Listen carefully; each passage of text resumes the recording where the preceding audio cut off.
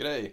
We now finally got around to putting together a video about our i-MiEV repair after the DC to DC converter failure, which unfortunately seems to be a pretty common failure in the Mitsubishi i-MiEV Citroen C-Zero, I think it is, Peugeot Ion type vehicles.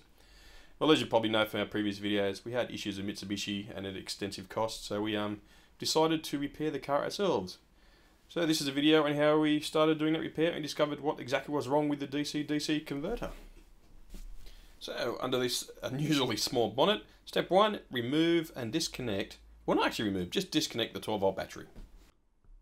And also don't forget to disconnect the negative terminal first, because if you don't do that and you got the spanner on the positive terminal, hit the bodywork, there's a good chance you're going to short out the battery or yourself or anything in the car. But most important is removing that positive terminal.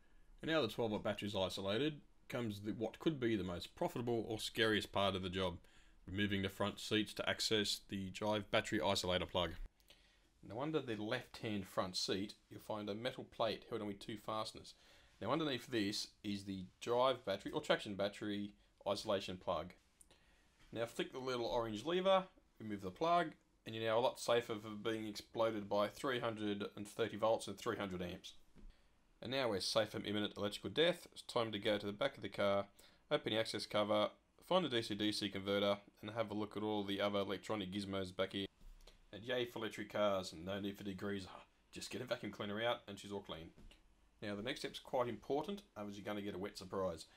Go back to the front of the car, find the bottom of the radiator drain hose and remove that. Also don't forget to open the cap at the back next to the DC-DC converter to allow air in for the coolant to drain. Now once that's done, time is to disconnect all the cables running to the um, converter, just to make sure it's 100% isolated from the 12 volt system and the high voltage system before you start opening up the box itself. Okay, now, so now the traction drive battery has been isolated, the coolant has been drained, it's time for the fun part, opening up the DC-DC to converter to see what damage has been done. Oh, and also, one fastener on the top of the converter is a special security type fastener. That's pretty common though. Oh, and one last thing, there's also a really good sealant holding this lid on too. You got to break to, before you get the top off. And now you spent some time getting through that sealant, let's have a look what's actually inside this thing. Yep, I have no idea what I'm looking at. This is good. Which is good. I have to have a look at the diagram, the uh, wiring diagram, but I have a feeling that this is the AC in from the AC charger because we've got a live and neutral.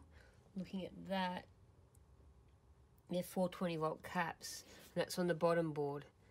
So I think this board here is the AC in. These go down to the bottom board. So these caps on that bottom board, I think the bottom board's the DC-DC converter.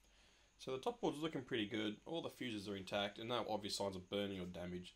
So it's time to remove this top board and have a look and see what we can find underneath. And here we are. Can you spot the failure? Now, I'm pretty certain something right there doesn't quite look right. Looks a little burnt. What I found is on this little board here, there's two resistors. One of the resistors has popped. I'm not sure if you can see on the camera there, but you can actually see the remains of the resistor to the left there and some residue from it popping on top of this um, thing here, which I'm not quite sure what that is at this point, but there is a code on that. I can find that out. So now we know the cause of our DC to DC converter failure. It looks like a little capacitor on that vertical board has exploded. So now it's time to remove the converter and get to work actually doing the repairs. Actually removing the cord is not too hard. One mounting bracket at the front, undo the plug at the front as well. There's also an earth lead at the rear of it, near the bumper bar. But also the hardest part is removing two coolant lines from underneath it. to get these off, you've got to get underneath the car and pull the hose out. So now you've drained all the coolant out and spilt it over the floor, you can now remove the coolant bottle from the left hand side of the converter and after that unplug the AC inlet plug from the after the converter. So now all that's done comes the time to remove the converter itself. This is where we also rip out any wires or things we forgot to disconnect. So that's pretty much the end of this video, end of part one. The next video, if I can find the footage, is actually the repair of the converter itself. The repair was actually quite simple. It was just basically solder on two new capacitors that had been destroyed.